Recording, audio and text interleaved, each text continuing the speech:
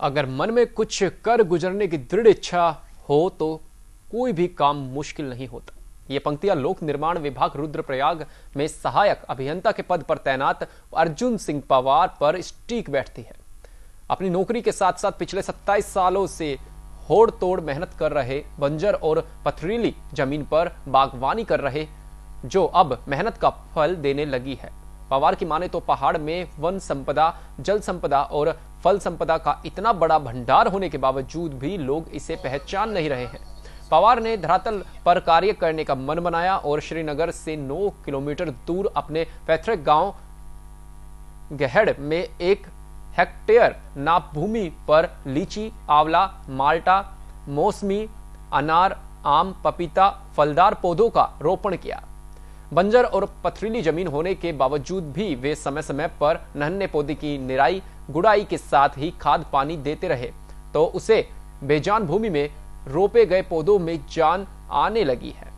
27 साल बाद उनके बगीचे में 1200 से अधिक फलदार पेड़ ऐसे तनकर खड़े हैं, मानो पहाड़ से रोज़गार के लिए पलायन कर रहे युवाओं को कह रहे हो कि लौट आओ अपने पहाड़ में।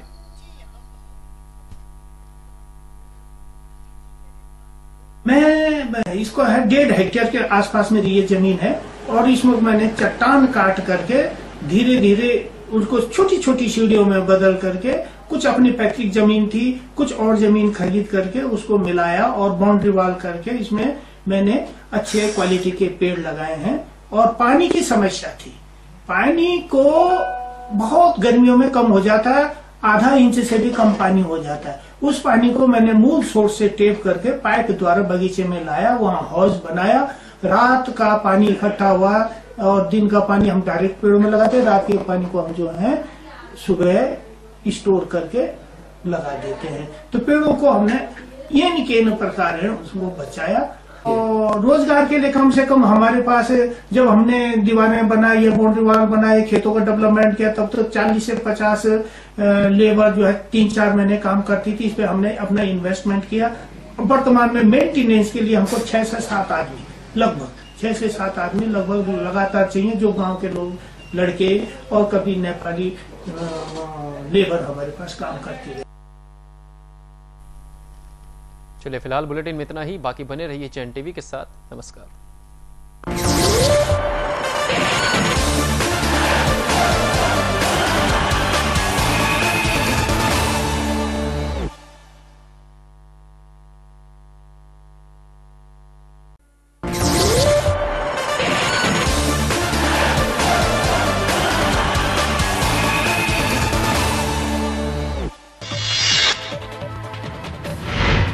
कोटद्वार दौरे पर रहे सूबे के मुखिया त्रिवेंद्र सिंह रावत, लालढांग चिलरखाल मोटर मार्ग का किया उद्घाटन। किसानों को किया ऋण वितरण।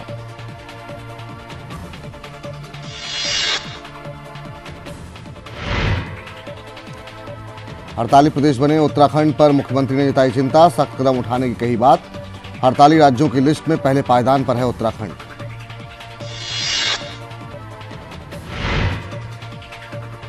डोईवाला शुगर मिल में पेराई सत्र का आगाज़, सीएम त्रिवेंद्र सिंह रावत ने किया शुभारंभ, स्पीकर प्रेमचंद अग्रवाल भी रहे साथ।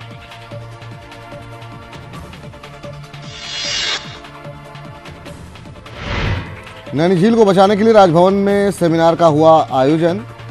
राज्यपाल और सीएम ने यूएनडीपी और एनआईएच के कामों की तारीफ़, बोले सीएम, जनता हो रही है जागरूक। एनएस सेवेंटी फोर मुआवजा घोटाला मामले में data entry operator Arpan Kumar गिरफ़्तार, किसानों की भूमिका, बैक डेट में एक सौ तिरालीस करने के गंभीर आरोप। डीपी सिंह से भी हुई पूछताछ। और काशीपुर पुलिस के हाथे चढ़ा बाइक चोर, गिरोह के तीन आरोपियों को किया गया गिरफ़्तार, चोरी की 11 गाड़ियाँ भी जब्त।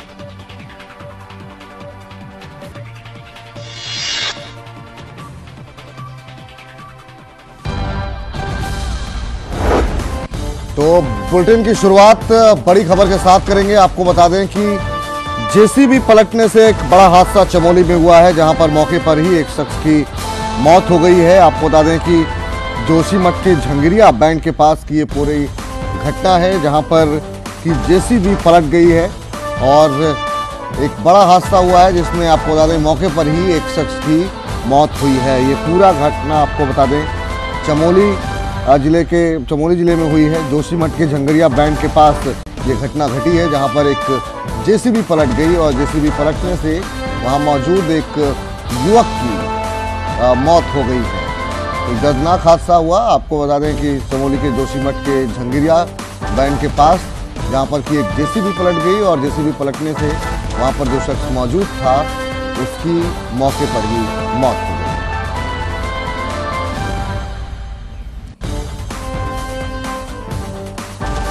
चलिए, आगे बढ़ते हैं और एक और बड़ी खबर का रुख करेंगे। बड़ी खबर आपको बता दें, जो कि आ रही है लक्सर से, जहाँ पर कि शुगर मिल का मामला है। प्रबंधन संघ पुलिस और तहसीलदार की मौजूदगी में जो बैठक हुई है, वो बैठक बेनतीजा रही आपको बता दें, किसानों के साथ हुई बैठक बेनतीजा रही है शुगर मिल मामले को लेकर के। प्रबंधन के साथ पुलिस और तहसीलदार की मौजूदगी में किसानों के साथ ये बैठक होनी थी, हुई थी। जिसमें कि कोई भी नतीजा नहीं निकला है। लक्सर की शुगर मिल के मामला था जिसमें कि कोशिश ये की गई कि आपस में बैठक करके कोई हल निकाला जाए, जिसमें प्रबंधन शामिल था, जिसमें तहसीलदार, पुलिस के साथ साथ किसानों के साथ बातचीत कराई गई। लेकिन ये बातचीत पूरी तरीके से बेनतीजा रही है। तो आपको बता दें कि शुगर मिल मामले में जो है, ये पूरी बैठक बेनतीजा रही है। अमित गिरी हमारे साथ जुड़ चुके हैं ज़्यादा जानकारी के साथ। लक्सर से आपसे अमित जानना चाहेंगे ये कोशिश थी कि इस मामले में कोई हल निकले जिसमें पुलिस भी शामिल थी जिसमें तहसीलदार की मौजूदगी में आ, किसानों के साथ बैठक की गई। पूरी तरह बेनतीजा रही। वजह क्या रही इसकी? क्या कुछ रहा लब्बुल हुआ आज की बैठक का? जी राजीव दरअसल इसमें किसानों के द्वारा एक पूर्व यानी कि पिछले सत्र में भी एक इसी प्रकार की बैठक हुई थी। उसका कारण ये था कि जो बीज जो कि एक प्रजाति होती है गन्ने की उसके उसके नंबर वाइज उसकी जानकारी दी जाती है वो मील प्रबंधन द्वारा ही किसानों को आवंटित किया जाता है। लेकिन जब उस बीज की एक साल की उपज के दौरान जब फ़सल को काट करके उस मील प्रबंधन को विक्रय हेतु ले जाया गया तो मील प्रबंधन ने ही उसे लेने से इनकार कर दिया अस्वीकृत कर दिया। इसी नाराज़गी को लेकर किसानों ने धरना प्रदर्शन किया। और इसी, इस वर्ष भी बिल्कुल ऐसी ही परिस्थितियाँ पैदा कर, हो गई। जबकि अब इस इस मतलब आर्थिक मुनाफे के कारण और उत्पादकता में एक बढ़ोतरी करने के एवज में मील प्रबंधन ने भी यूपी के किसानों से गन्ना क्रय करना शुरू कर दिया। इसमें नाराज़गी और ज़्यादा किसानों की बढ़ गई। जी राजीव। आपसे जानना चाहेंगे ये बैठक में फिर बातचीत क्या हुई क्या और कहाँ बातचीत बिगड़ी? क्योंकि कोशिश तो यही थी कि इसमें कोई बीच का रास्ता निकाल लिया जाए कोई हल निकाला जाए। तो कहाँ चूक जी। जी कहाँ पे बातचीत बेनतीजा रही है? क्या दरअसल राजीव, इसमें जो प्रशासनिक मध्यस्थता थी, उसके अनुरूप भी वहाँ के जो मजिस्ट्रेट थे, यानी कि तहसीलदार थे, और पुलिस प्रशासन की मौजूदगी में जो मील प्रबंधन थी, उन्होंने किसानों के जो लीडरशिप कर रहे नेता थे, उनके साथ एक बैठक की ताकि इसमें कोई एक सार्वजनिक आधार पर एक समझौता हो सके। लेकिन मीन घंटों इस बैठक के दौरान बाद भी कोई समझौता और कोई मतलब कोई ऐसा नतीजा निकल ही नहीं पाया। जिससे कि कोई अ, मामला सुलझ जाए और लेकिन उसमें उल्टा क्या हुआ कि मील प्रबंधन मील प्रबंधन ने उस बीज की कैटेगरी को स्वीकार करने से फिर भी साफ़ साफ़ इनकार कर दिया। इसमें पुलिस की मध्यस्थ मध्यस्थता और प्रशासन की मध्यस्थता दोनों तौर का जो मीडिएशन था वो भी काम नहीं आ पाया। अब किसानों ने एक जो लोकल विधायक हैं उनके साथ मिलकर के उनके उनका समर्थन प्राप्त करने के बाद वो धरना प्रदर्शन को जारी रखने की एक प्र, अ, अ, उन्होंने अपना ऐसा कार्यक्रम बनाया है। जी राजीव चले चलते चलते आखिरी सवाल आपसे। अब बीच का कोई रास्ता निकलता हुआ दिखाई दे रहा है? कोई कोशिश और होगी बातचीत की? अब ये बातचीत बेनतीजा रही है तो अब इसके बाद अभी बातचीत की कोई उम्मीद नहीं है। राजीव इसमें किसानों ने जब सम, इसमें मीटिंग के बाद जो बेनतीजा रहा जो भी मतलब कुछ क्लियर उसमें नहीं हो पाया तो किसानों ने एक स्थानीय विधायक के समर्थन प्राप्त करने के बाद इस धरना प्रदर्शन को यथावत रखने का ही मतलब वो कार्य जारी रखने का कार्यक्रम बनाया है। इसमें अभी तक तो कोई ऐसी स्थिति नहीं है लेकिन फिर भी वो उन्होंने 24 घंटे का अल्टीमेटम किसानों ने जो मील प्रबंधन है उनको दिया है। जी, राजीव। चलिए बहुत बहुत शुक्रिया, धन्यवाद आपका तमाम जानकारी देने के लिए, इस पूरी खबर पर अपडेट देने के लिए। आगे बढ़ते हैं, अगली खबर का रुख करेंगे। सूबे के मुखिया त्रिवेंद्र सिंह रावत कोटद्वार दौरे पर रहे। इस दौरान सीएम ने वन विभाग के कार्यक्रम में शिरकत करेंगे। सीएम ने लालढांग, चिल्लरखाल मोटर मार्ग का शिलान्यास किया। इसके अलावा सीएम ने दीनदयाल उपाध्याय सहकारिता किसान कल्याण योजना के तहत किसानों को ऋण वितरित किया। इस दौरान वन मंत्री हरक सिंह रावत भी वहाँ पर मौजूद रहे। तो वन विभाग के कार्यक्रम में शिरकत करने के लिए पहुँचे थे मुख्यमंत्री, जहाँ पर आपको बता दें कि लालढांग, चिल्लर के मार्ग का का शुभारंभ भी उनकी तरफ़ से किया गया। कई विषयों को लेकर के उन्होंने बातचीत की और ये भी कहा गया कि किस तरीके से पर्यटन को बढ़ावा दिया जाना है, इसके लिए लगातार सरकार जो है वो प्रयत्नशील है। और इसी वजह से जो जो मार्ग एक लंबे समय से ख़राब पड़ा था, उसका शुभारंभ भी किया गया और कहा यह गया कि इस मार्ग के बेहतर होने से पर्यटन में भी इजाफा मिलेगा। तो वन कार्यक्रम में भी वहाँ पर आपको बता दें कि शिरकत की मुख्यमंत्री ने और वहाँ पर तमाम मुद्दों को लेकर के वो बोलते हुए दिखाई दिए। तो आपको बता दें कि वन विभाग के कार्यक्रम में शामिल होने पहुँचे थे मुख्यमंत्री, जहाँ पर लाल ढांग चिल्लरख्याल मार्ग का उन्होंने शिलान्यास किया। साथ ही किसानों को ऋण वितरण भी किया गया मुख्यमंत्री त्रिवेंद्र सिंह रावत की तरफ़ से।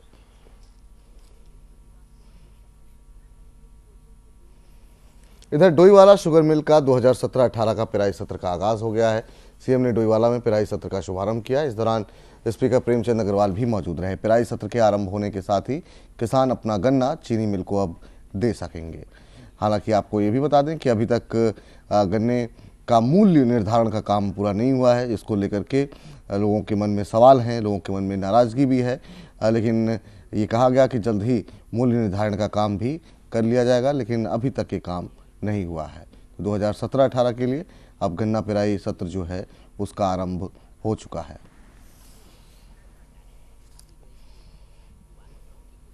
इधर दून में नैनी झील को संरक्षित करने के संबंध में राजभवन में सेमिनार का आयोजन किया गया, जिसमें राज्यपाल के के पॉल और मुख्यमंत्री त्रिवेंद्र सिंह रावत ने शिरकत की। उत्तराखंड सरकार के साथ यूएनडीपी और एनआईए जैसी संस्थाएँ नैनी झील को बचाने के लिए जुटी हुई हैं। राज्यपाल के के पॉल ने कुछ समय पहले शुरू की थी नैनी झील को बचाने की ये मुहिम, जिसका असर ये हुआ कि अब जनता नैनी झील के प्रति जागरूक हो रही है। अब उत्तराखंड सरकार के साथ साथ यूएनडीपी और एनआईए जैसी संस्थाएँ भी नैनी झील को बचाने के लिए काम कर रहे हैं। डिपॉजिट होने से भी इसको एक जा सके। नहीं तो कोई चीज़ इम्प्लीमेंट करें कई लोगों को पसंद नहीं आती है। कई लोग उसका विरोध करते हैं। को ये समझना आवश्यक है कि अगर नैनीताल लेक का अस्तित्व कम हो गया या खराब हो गया या निकालते शूट न लगी तो पर्यटक नहीं आएँगे तो मुश्किल हो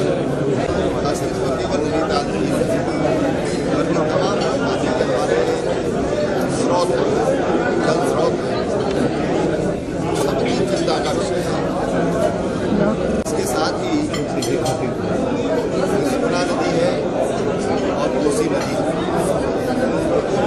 करने का हमने काम प्रारंभ किया है उसकी जो रिपोर्ट तैयार हो रही है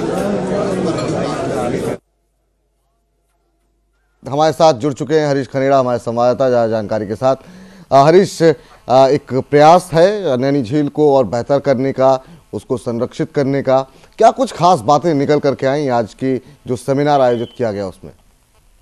बिल्कुल देखिए बिल्कुल मैं आपको बताना चाहूँगा कि जिस तरह से आज राजभवन में मुख्यमंत्री और महामहिम राज्यपाल के द्वारा एक, एक कार्यशाला यहाँ पे की गई है। इस दौरान तमाम वैज्ञानिक इस कार्यक्रम में रहे हैं और मैं खास ये रहा कि जिस तरह से जो नैनी झील है, उसका रख रखाव उसका उसको पुनर्जीवित किस तरह से किया जाए इसको लेकर के चर्चा की गई है और उत्तराखंड के तमाम जो झीलें हैं, उनको लेकर के भी चर्चा की गई है। जो नदियाँ हैं खासतौर पर जो अलखनंदा, जो भागीरथी है, जो गंगा है, उसको किस तरह से स्वच्छ बनाया जाए, इस पर भी चर्चा की गई। लेकिन खास बात, हम जो नैनीताल की करें तो नैनीताल की जो झील है, उसको किस तरह से उसका रख रखाव किया जाए, उसको साफ़ स्वच्छ स्वच्छ रखने के लिए ताकि वहाँ के जो लोग हैं उनको भी पानी पीने को मिले और जो वाटर है वो झील में बना रहे, इसको लेकर के भी जो वैज्ञानिक हैं उन्होंने अपनी राय दी है, सरकार के सामने रखी है, अपनी बातें रखी हैं, इसको लेकर के मुख्यमंत्री ने उनमें, उनसे ये भी कहा कि अगर उनके उनके पास कोई अतिरिक्त विकल्प है तो वो भी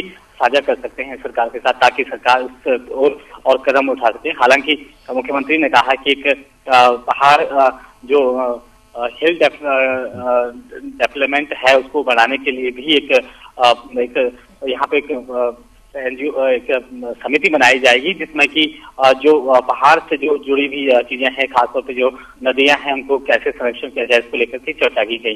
जी। एक चीज़ आपसे और जानना चाहेंगे कि अब आगे किस तरीके से नैनी झील को लेकर के क्या कोई कार्यक्रम चलाया जाएगा और किस तरीके से लोगों को उससे जोड़ा जाए, इस पर भी चर्चा हुई क्या? निश्चित तौर पर देखिए काफ़ी पर्यटन स्थल माना जाता है नैनीताल को आ, हर साल आठ लाख से ज़्यादा वहाँ पे लोग पहुँचते हैं नैनीताल का दीदार करने के लिए। तो इसको लेकर के सरकार काफ़ी गंभीर है इसको लेकर के लग, लगातार जिस तरह से कार्यक्रम किया जा रहा है और आज भी इस प्रवेश में कार्यक्रम किया गया है ताकि जो वैज्ञानिक है वो इस पे शोध कर रहे हैं कि किस तरह से नैनीताल की जो झील है नैनी झील है तमाम जो और सात झीलें वहाँ पे है। उनको किस तरह से उनका डेवलप किया जाए, किस तरह से उनको बढ़ाया जाए, ताकि पर्यटन अधिक से अधिक यहाँ पे पहुँचे। और जो लोग यहाँ पहुँचते हैं उनको भी कोई दिक्कतें ना हो कि उनको भी भरपूर पानी मिल सके पीने के लिए, और जो यहाँ के स्थानीय लोग हैं, उनको भी पीने का पानी मिल सके। और जो झील है, वो बनी रहे। इसको लेकर के चर्चा की गई है। तो काफ़ी गंभीर इसमें सरकार है। निश्चित तौर पर जो जो और भी जो नदियाँ हैं, उनको भी उनको भी स्वच्छ रखने की बात की गई है। उसको वो भी चर्चा में रखा गया है कि जिस तरह से जो नदियाँ हैं उत्तराखंड की तमाम ऐसी नदियाँ हैं, जो विलुप्त हो चुकी हैं, उनको लेकर के सरकार अब गंभीर है और उन्होंने कहा कि वो प्लांटेशन तमाम जगहों पर करेंगे। खासतौर पर हम रिश्पला की बात करें तो यहाँ पे भी उन्होंने कहा कि हम आने वाले समय में पुलिस और जो एनसीसी हैं, तमाम आर्मी के जो लोग हैं, उनके साथ मिलजुल करके वृक्षारोपण करेंगे और जो नदी है, वो उसको फिर से सुचारू हो सके। तमाम ऐसी नदियाँ हैं जो विपुल जो, आज विलुप्त के कागज़ पर उसको लेकर के सरकार काफ़ी गंभीर है। जी। चलिए बहुत बहुत शुक्रिया। धन्यवाद आपका तमाम जानकारी देने के लिए, इस पूरी खबर पर अपडेट देने के लिए। अब बात कर लेते हैं सात दिसंबर से शुरू होने वाले सत्र पर सियासत की। बीते शुक्रवार को स्पीकर प्रेमचंद अग्रवाल और संसदीय कार्य मंत्री प्रकाश पंत सीधे पहुँचे गैरसैंण यहाँ पर सपनों की इमारत का मुआयना किया और संबंधित अधिकारियों को वक्त रहते कमियों को दूर करने के निर्देश दिए। मगर सियासत तो सियासत है, भला कभी सियासत रुकी है जो आज रुकती। सियासत का लट्टू ऐसा घूमा कि मुआयने पर महाभारत ही छिड़ गई। इसी पर देखिए हमारी ये रिपोर्ट। देखिए हम लोग पूरी तरह से मुस्तैद हैं जो हमारा सात तारीख से विधानसभा सत्र यहाँ आउट हो रहा है। और मुझे लगता है इससे पहले भी हम लोग देहरादून में बैठे थे। वहाँ मोटी मोटी हमने बातचीत की थी। तमाम आला अधिकारी उस टाइम मौजूद हैं। यहाँ के स्थानीय अधिकारियों लोगों ने यहाँ देखा है। निश्चित रूप से मैं कह सकता हूँ कि जो सात तारीख से हमारा होने वाला सत्र है आ, मैं मान सकता हूँ कि थोड़ी बहुत ठंड होगी थोड़ी बहुत परेशानी आ सकती है। लेकिन तैयारियाँ मुकम्मल हम लोग करने का पूरा प्रयास कर रहे हैं। लगता नहीं कोई दिक्कत आएगी। क्योंकि मैंने पहले भी कहा था मैं दोहरा रहा हूँ। हम पहाड़ के लोग हैं, पहाड़ के लोग तो चुनौती से डरते नहीं हैं। यदि चुनौती आई है तो उसका भी सामना करेंगे और मुकम्मल तैयारी के बाद बहुत अच्छा हम लोग यहाँ अपने इस विधानसभा सत्र को कर पाएँगे।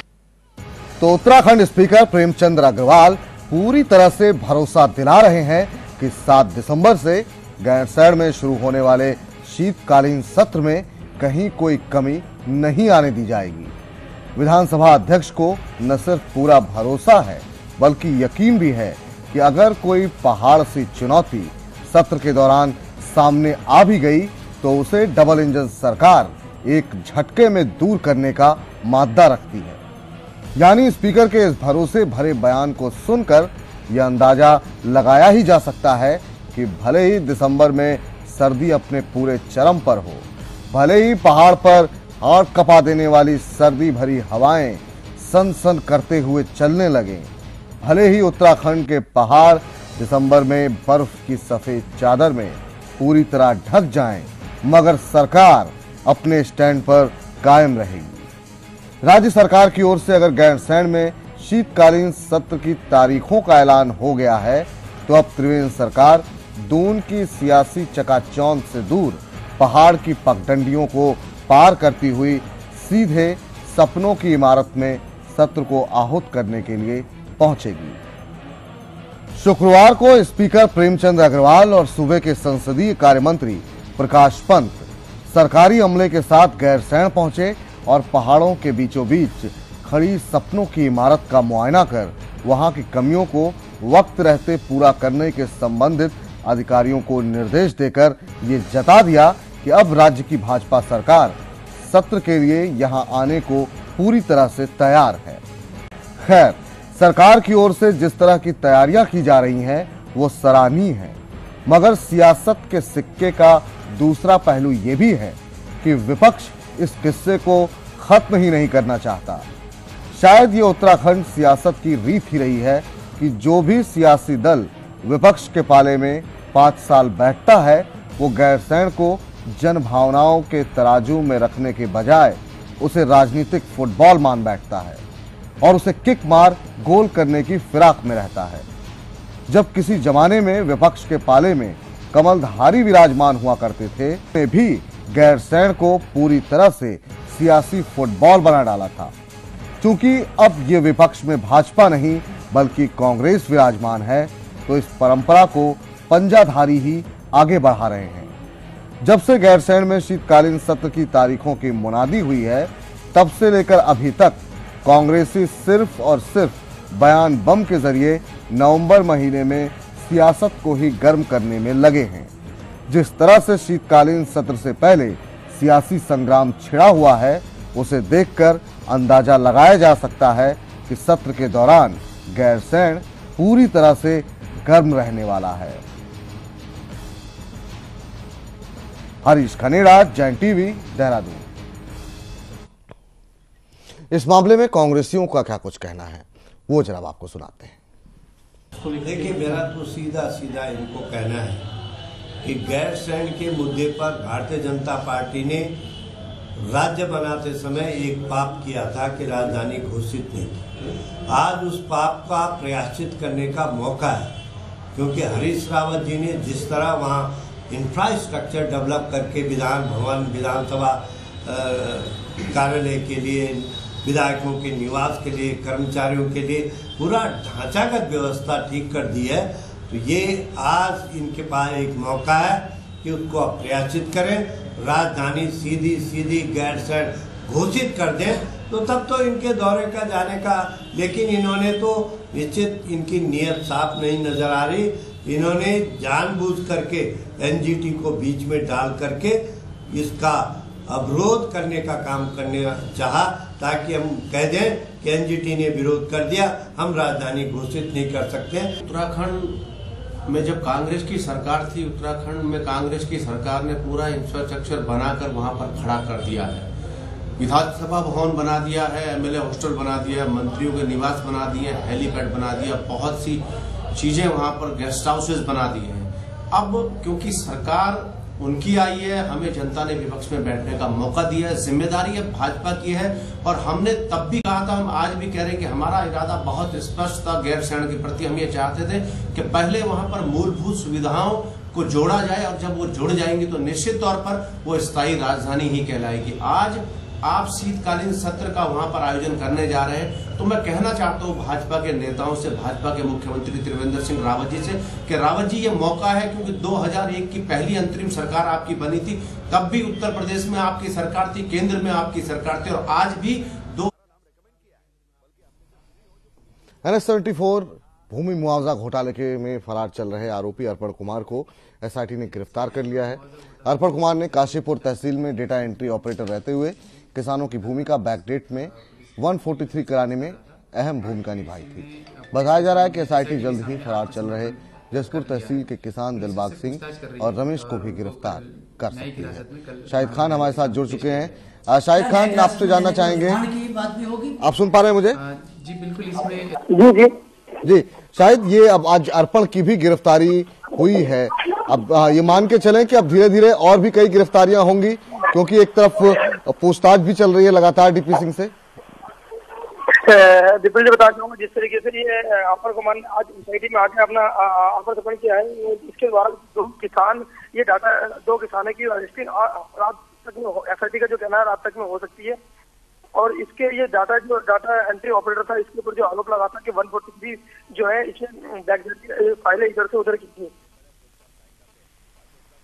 जी। शायद सुन पा रहे हैं आप?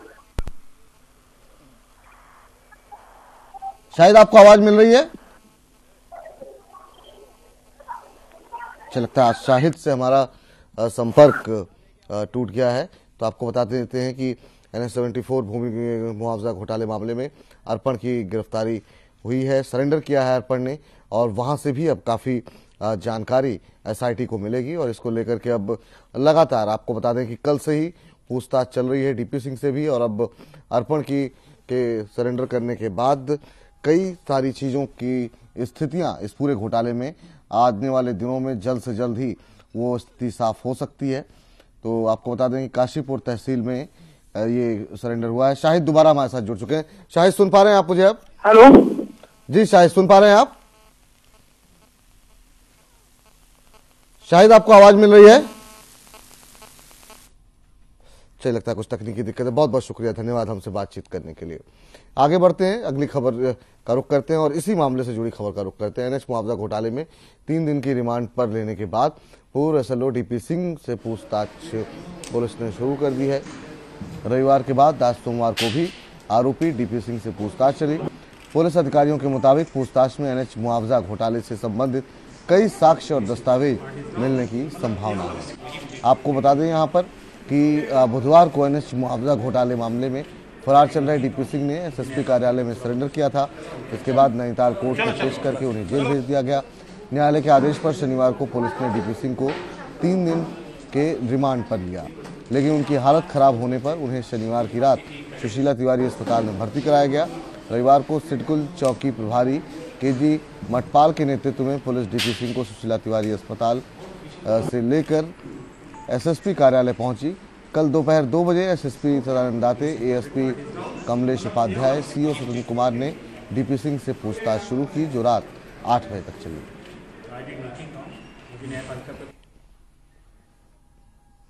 दरअसल गुरुवार के दिन ये खबर आई थी कि डीपी सिंह ने एसएसपी कार्यालय पहुँच करके आत्मसमर्पण कर दिया। लुकआउट जिस आरोपी के खिलाफ जारी हुआ था, वही मुख्य आरोपी नाटकीय ढंग से एकाएक एसएसपी कार्यालय पहुँच गया। और आत्मसमर्पण कर दिया। इस रिपोर्ट के ज़रिए आप जानिए कि डीपी सिंह के अलावा कितने ही इस खेल के खिलाड़ी अब तक सलाखों के पीछे पहुँच चुके हैं। एनएच चौहत्तर कथित घोटाला मामले में एसआईटी से लुका छुपी का खेल खेलने और जाँच अधिकारियों की आँखों में महीनों धूल झोंकने के बाद आखिरकार नाटकीय अंदाज में गुरुवार को मुख्य आरोपी डीपी सिंह एसएसपी ऑफ़िस पहुँचा। तो सभी की आँखें खुली की खुली रह गई। मुख्य आरोपी रहे डीपी सिंह के खिलाफ लुकआउट नोटिस जारी होने के बाद भी, जब खाकी और जाँच अधिकारी घुटनों के बल आ गए तो उम्मीद ही छोड़े जाने लगी कि शायद ही ये शातिर परिंदा सलाखों के पीछे पहुँच सके। मगर जिस तरह से नाटकीय अंदाज में डीपी सिंह एसएसपी ऑफ़िस पहुँचा तो हर कोई हैरान रह गया। हालाँकि इससे पहले 6 नवंबर को भी लंबी लड़ाई और जद्दोजहद के बाद इस खेल के आठ शातिर खिलाड़ियों के खिलाफ कानूनी शिकंजा कस रुद्रपुर की सीजीएम, यानी चीफ जुडिशियल मजिस्ट्रेट कोर्ट में पेश किया गया था। यकीनन कहा जा सकता है कि अनंत चौहत्तर मामले में ये अभी तक की सबसे बड़ी कार्रवाई है। अभी तक इस मुद्दे में कितने ही घुमावदार मोड़ आए हैं, ये आपको आगे बताएँगे। लेकिन सबसे पहले आप ये जान लें कि किन किन छात्रों की अभी तक पेशी हो चुकी है। इस लिस्ट में सबसे पहला नाम है निलंबित एसडीएम भगत सिंह फोनिया का दूसरे नंबर पर है अनिल कुमार, संग्रह अमीन, निलंबित। तीसरे नंबर पर है मदन मोहन पडलिया, प्रभारी तहसीलदार, काशीपुर। चौथे नंबर पर है भोलेलाल, रिटायर्ड प्रभारी तहसीलदार, काशीपुर। पाँचवें नंबर पर है राम समुच, अनुसेवक तहसीलदार, जसपुर। छठवें नंबर पर जुशान सिद्दीकी, स्टॉम्प बैटर काशीपुर। सातवें नंबर पर है ओम प्रकाश किसान गढ़ी नेगी और आठवें नंबर पर है चरण सिंह, किसान जसपुर। वही मुख्य अभियुक्त डीपी सिंह की तलाश में जगह जगह दबिश दी जा रही थी। आपको ये भी बता दें, मुख्य अभियुक्त डीपी सिंह की तलाश में लुकआउट नोटिस भी जारी किया जा चुका था। मगर क्या मजाल कि डीपी सिंह किसी के हाथे चढ़ सका। खैर, इससे इतर अगर बात करें तो तहसील बाजपुर रुद्रपुर, गदरपुर, किच्छा और सितारगंज के संदिग्ध प्रकरणों की जाँच प्रचलित है। यकीनन, जब से इस मामले ने सूबे की सियासत में एंट्री ली है, तब से लेकर अभी तक न जाने कितनी ही बार डबल धमाल के ज़रिए सियासत में विस्फोट हुए हैं। एक यही मुद्दा रहा है, जिस पर डबल इंजन की त्रिवेंद्र सरकार के गले की फांस बना हुआ है। ना निगलते बनता है और ना ही उगलते। हालाँकि जिस वक्त बीजेपी सरकार ने एनएच चौहत्तर मामले में सीबीआई जाँच की बात कही और उसके बाद केंद्रीय मंत्री नितिन गडकरी के पत्र में सीबीआई जाँच नहीं कराने की नसीहत दी गई, तब से लेकर अभी तक कांग्रेसियों ने भी इस मुद्दे पर जंग नहीं लगने दिया। जब भी मौका मिला, तभी इस मुद्दे को सियासी फिजाओं में उछाल। विपक्ष के वीरों ने जमकर सरकार के सीने पर सितम ढाए अभी भी विपक्ष के एजेंडे में एनएच चौहत्तर का मुद्दा शामिल है। खैर, इस खेल के आठ शातिर खिलाड़ियों की तो पेशी होकर उन्हें सलाखों के पीछे पहुँचाया जा चुका है। और मुख्य आरोपी ने गुरुवार को सरेंडर कर इस लुका छुपी के खेल पर विराम लगा दिया। मगर सवाल ये खड़े हो रहे हैं कि इस खेल की प्लानिंग करने और इस खेल को खेलने वाले मास्टरमाइंड या फिर आप कह लीजिए कि सफ़ेद पोष अभी भी कानून की पहुँच से कोसों दूर ही दिखाई दे रहे हैं। अभी तक जिनको गिरफ़्तार किया गया है, ये महज वो प्यादे हैं जो सामने दिखाई दे रहे हैं। लिहाजा इस खेल के उन शातिरों को पकड़ना ज़रूरी है। जो कानून के साथ आँख मिचौली का खेल खेल रहे हैं।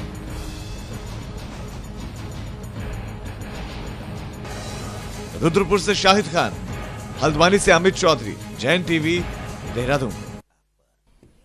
चलो, सब ब्रेक ले रहे हैं। जल्द लौट रहे हैं। आप बने रहिए हमारे साथ।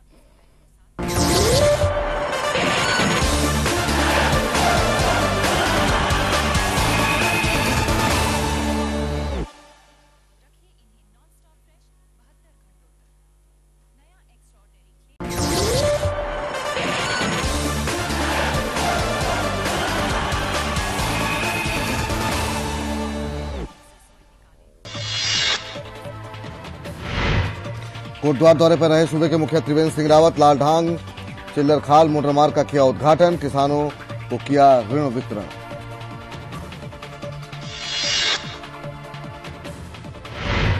हड़ताली प्रदेश बने उत्तराखंड पर मुख्यमंत्री ने जताई चिंता। सख्त कदम उठाने की कही बात, हड़ताली राज्यों की लिस्ट में पहले पायदान पर है उत्तराखंड।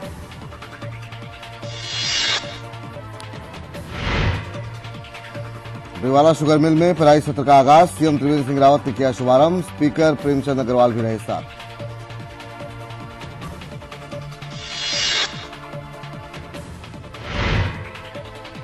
नैनी झील को बचाने के लिए राजभवन में सेमिनार का हुआ आयोजन। राज्यपाल और सीएम ने यूएनडीपी और एनआईए चेक के कामों की, की तारीफ़ बोले सीएम जनता को हो रही है जागरूक।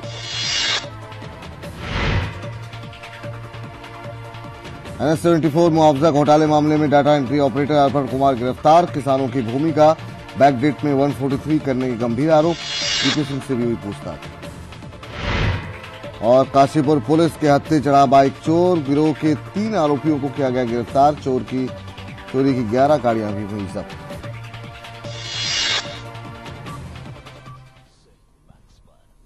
ब्रेक के बाद स्वागत है आपका, बढ़ते हैं अगली खबर की ओर। मसूरी में ई रिक्शा को लेकर रिक्शा यूनियन ने नगर पालिका अध्यक्ष मनमोहन सिंह से पालिका सभागार में बैठक आयोजित की।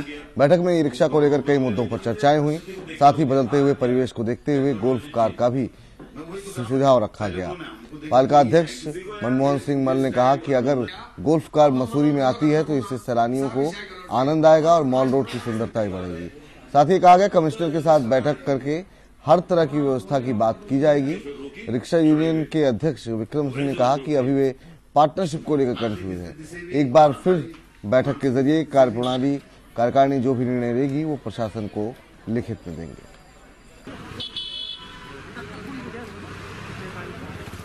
शहर जैसे जैसे बदलता जा रहा है टेक्नोलॉजी बदलती जा रही है तो उस हिसाब से हम चाहते हैं कि या तो ई रिक्शा है, या गोल्फ कार मसूरी में आए, जिससे कि माल रोड भी सुंदर रहे और टूरिस्टों को बैठने का आनंद भी उसमें आए। तो सरकार भी चिंतित है हम भी चिंतित है ये लोग भी चिंतित है। आज इन लोगों की बैठक की थी कि आपस में डिसाइड कर लो कि गोल्फ कार चलानी है या ई रिक्शा चलाना है। परिवर्तन तो बदल चाहता है पर अभी हमारा डिसाइड ये होना कि जो ये बात आ रही कि एक आदमी एक, एक पार्टनरशिप वाली बात आ रही है इसी में हम थोड़ा कंफ्यूज हो रहे हैं। गोल्फ कार की या ई रिक्शा के बाद में पार्टनर वाली बात जो हो रही जैसे अभी हमारे कार्यकारिणी डिसाइड करेगी अभी क्या होना है अभी हम लिखित में देंगे। एक हमारा ठोस वो निर्णय बनेगा, उसमें सब लोगों की राय लेके, और उस जो भी देंगे हम, जो भी प्रशासन को देंगे या अध्यक्ष साहब किसी को भी देंगे, हम वो लिखित में इधर नगर निगम के खिलाफ कांग्रेस कार्यकर्ताओं ने निगम गेट पर पहुंचकर निगम में हो रहे भ्रष्टाचार के खिलाफ धरना प्रदर्शन किया। कांग्रेस कार्यकर्ताओं ने रुद्रपुर नगर निगम की मेयर सोनी कोहली के खिलाफ भी जमकर नारेबाजी की। पूर्व पालिका अध्यक्ष मीना शर्मा ने कहा कि जब से रुद्रपुर नगर निगम बना है, तब से निगम भ्रष्टाचार का अड्डा बना हुआ है। साथ ही उन्होंने कहा कि प्रधानमंत्री भारत के प्रधानमंत्री नरेंद्र मोदी ये कहते हैं कि भारत से भ्रष्टाचार को समाप्त करना है, लेकिन उत्तराखंड के भाजपा सरकार होते हुए निगम में भ्रष्टाचार पूरी तरह से फैल चुका है। नगर निगम में कांग्रेस कार्यकर्ताओं ने धरना प्रदर्शन किया। आपको बता दें कि एलईडी लाइट घोटाला, हाउस टैक्स घोटाला कूड़ा कलेक्शन घोटाला विकास कार्य घोटाला आदि आदि आरोप लगाते हुए कांग्रेस पार्टी के नेताओं ने, कार्यकर्ताओं ने, नगर निगम के गेट के बाहर धरना प्रदर्शन करके निगम प्रशासन मुर्दाबाद के नारे भी लगाए। वहीं कांग्रेस के कार्यकर्ताओं ने नगर रुद्रपुर नगर निगम पर निशाना साधते हुए एसआईटी जाँच की मांग की। मुख्य मान्य ये है हमारा, हमारे नगर निगम में लगातार भ्रष्टाचार पे भ्रष्टाचार होते जा रहे हैं, जिसकी आज तक कोई जाँच नहीं हो रहा है। और हमने कई बार डीएम साहब को एचडीएम साहब को अवगत कराया इस बात को, कि इसकी जाँच होनी चाहिए, मगर आज तक जाँच नहीं हुआ। जैसे एलईडी घोटाला हो गया ई रिक्शा रिक्शा घोटाला जो वार्डों में जो घूमते, इसमें इसमें भी घोटाला हुआ भारी मात्रा में, जिसकी आज तक जाँच नहीं हुआ। हम लोग इससे अगर जाँच अगर नहीं हुआ तो हमें धरना दिया जाए या भूख हड़ताल पर बैठा जाए, हम बैठेंगे इस बार।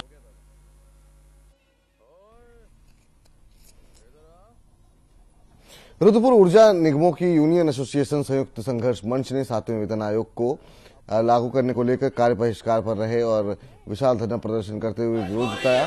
सातवें वेतनमान लागू न होने पर ऊर्जा निगम के अधिकारियों और कर्मचारियों के मोबाइल आज शाम पाँच बजे से बंद रखने की चेतावनी थी वहीं एवं उपरेती का कहना है कि अगर हमारी मांगे को शासन न पूरा किया तो आने वाली चार जनवरी को देहरादून के गांधी पार्क से विशाल रैली का आयोजन किया जाएगा। और मांगों को भी पूरा नहीं किया गया तो 5 जनवरी 2018 को अनिश्चितकालीन हड़ताल पर नहीं, आज हमारा विरोध दिवस है।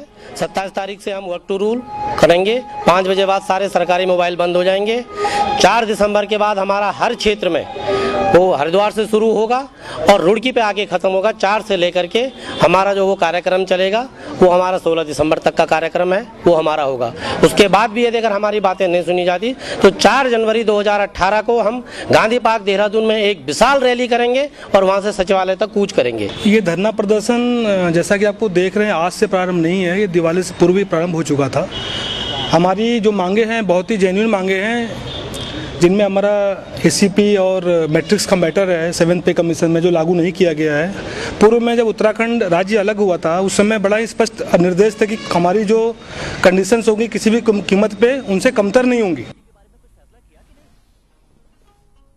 कुमाऊं डीआईजी बनने के बाद पहली बार पूरण रावत काशीपुर पहुँचे। पूरण रावत ने पुलिस विभाग के बड़े अधिकारियों के साथ बैठक की, जहाँ लचर यातायात व्यवस्था को लेकर यातायात पुलिस अधिकारियों को ज़रूरी दिशा निर्देश दिए गए। उन्होंने पुलिस अधिकारियों को निर्देश दिए कि ट्रैफ़िक से संबंधित नियमों का हर हाल में पालन कराया जाना जाए। साथ ही सरकारी और गैर सरकारी स्कूलों में जाकर छात्र छात्राओं को ट्रैफ़िक के नियमों का पालन करने को लेकर के जागरूक भी किया जाए। डीआईजी पूरन रावत ने बताया कि उनकी पहली प्राथमिकता लोगों को जाम से और अपराध से निजात दिलाना है।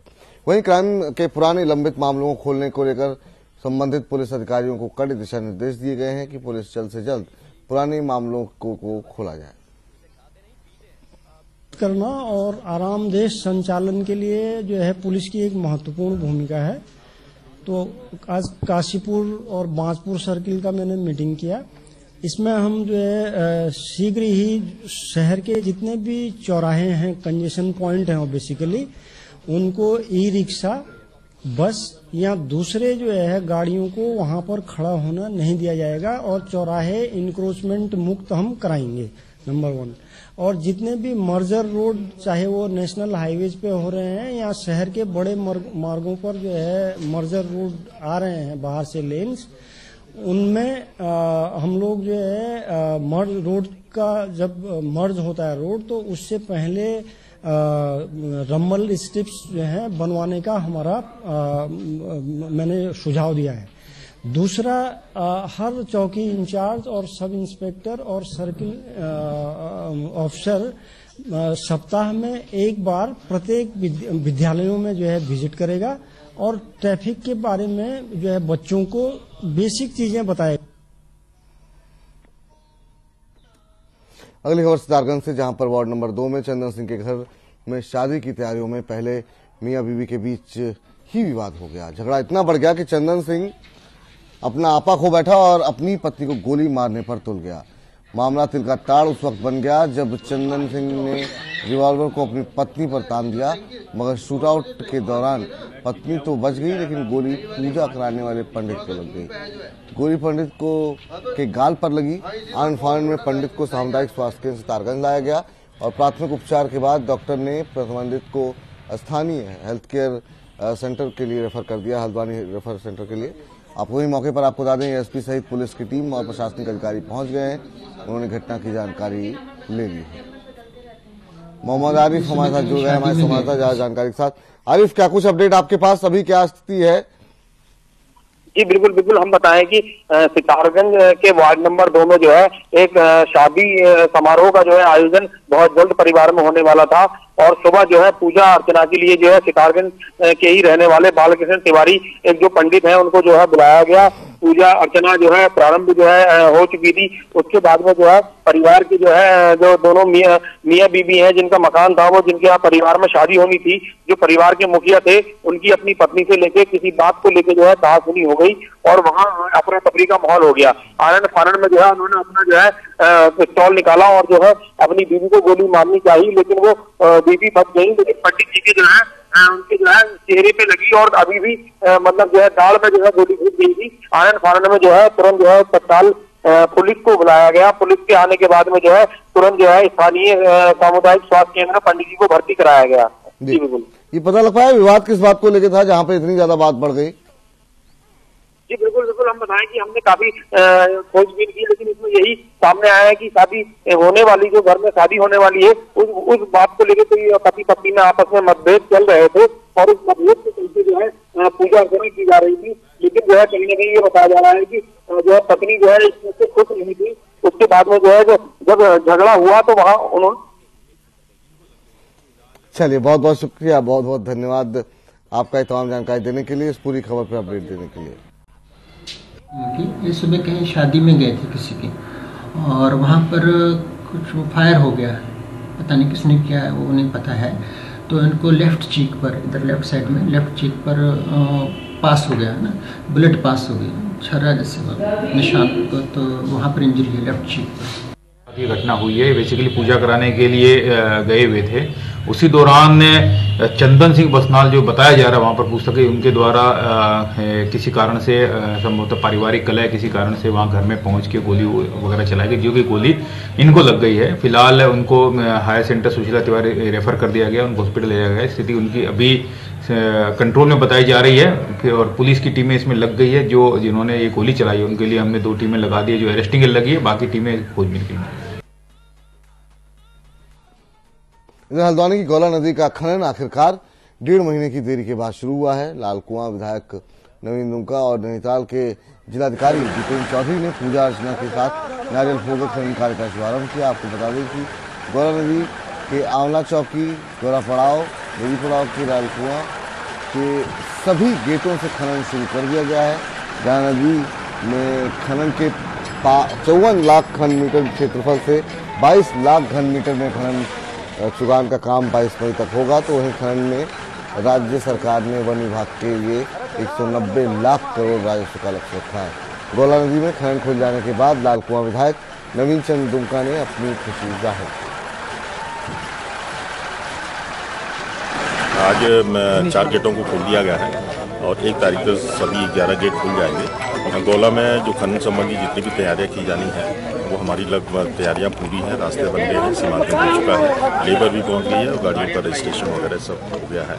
लेकिन जो कांटे वगैरह को लेकर के थोड़ा सा व्यवधान आया था, एक तारीख तक सभी ग्यारह गेट खुल जाएँगे। मुझे उम्मीद है पिछले बार दिसंबर में गोला प्रारंभ की गई थी। इस बार लगभग 20 दिन पहले हम लोग प्रारंभ कर रहे हैं और हाईकोर्ट के कारण भी 20-25 दिन पिछले वर्ष व्यवधान रहा था।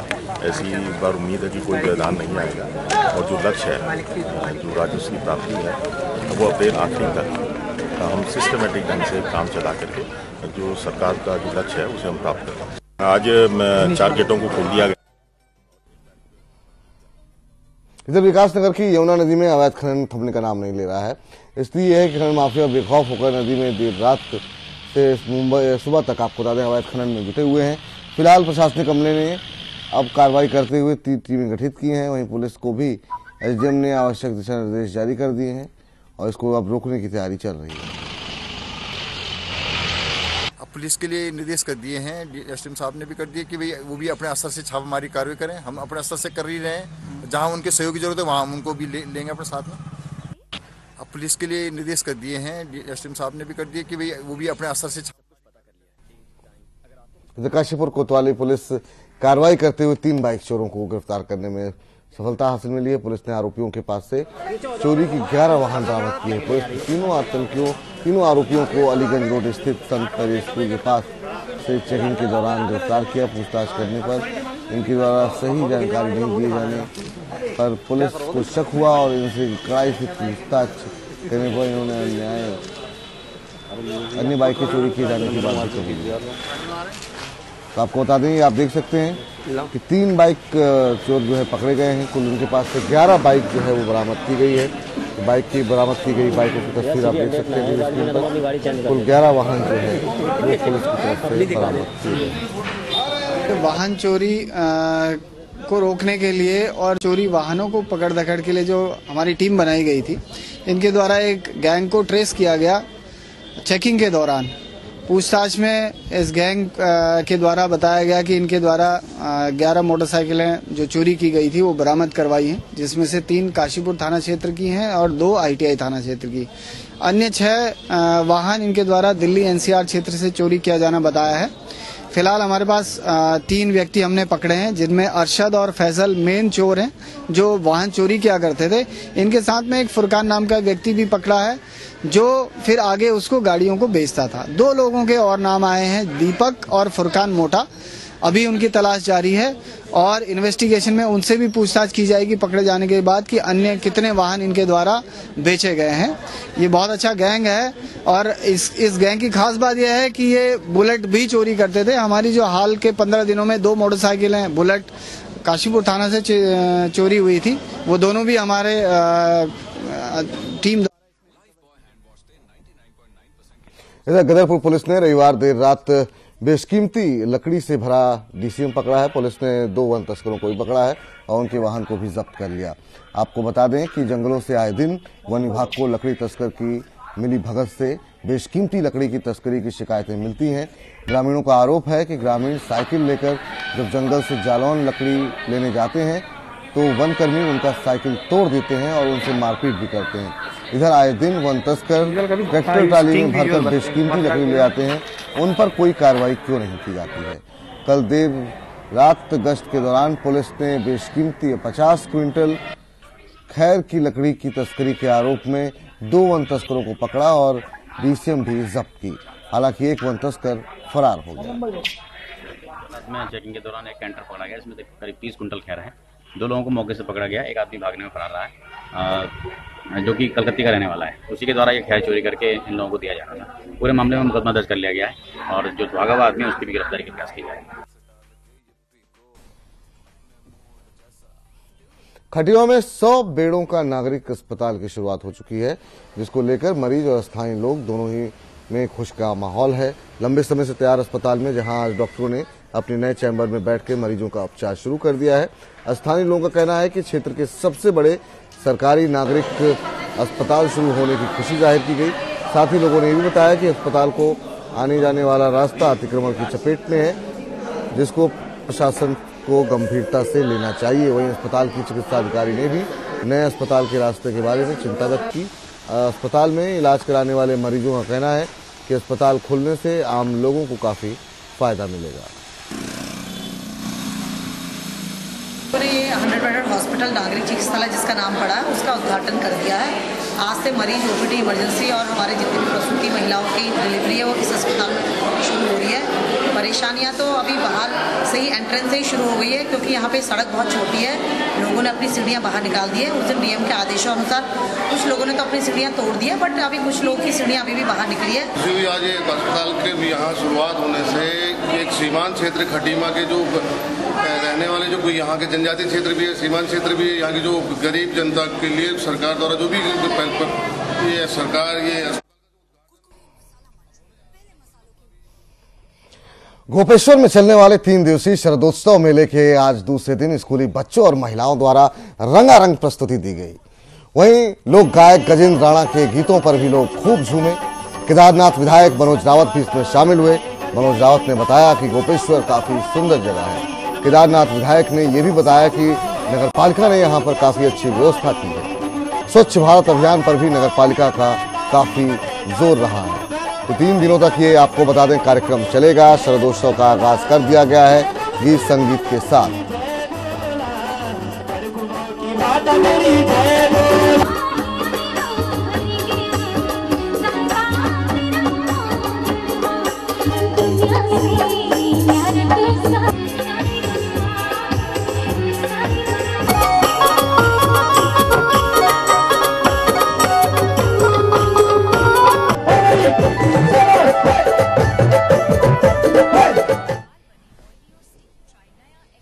तो गीत संगीत के साथ सरदोत्सव का आगाज़ हो चुका है।